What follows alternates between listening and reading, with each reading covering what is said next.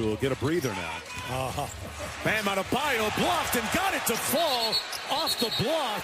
Bill Kennedy wants to wave it off because Bam was hanging on the rim at yeah, the time. Yeah, definitely tell you, Wade just put an offensive. Watch this screen. How about that screen? Wade, that was like a pulling guard taking out two guys.